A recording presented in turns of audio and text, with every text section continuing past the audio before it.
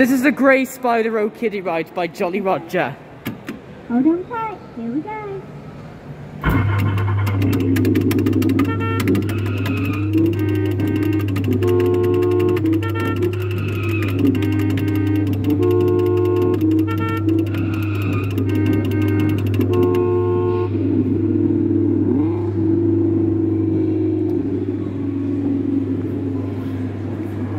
Made by Jolly Roger, I believe, in 2017, under no license. Yeah, these rides are pretty common nowadays, these, these rides are. And there's also like um, an interactive biker which is quite rare as well.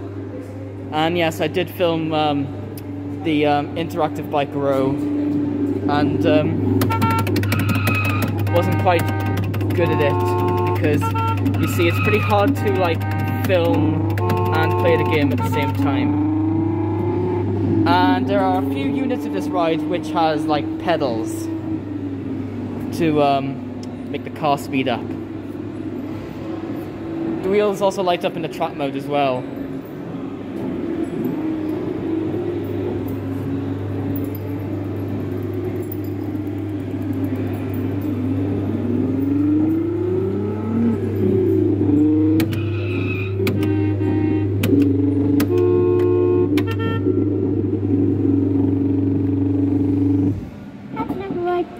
And that was a Grey Spydero ride by Jolly Roger, sighted at the Red Dragon Centre in Cardiff.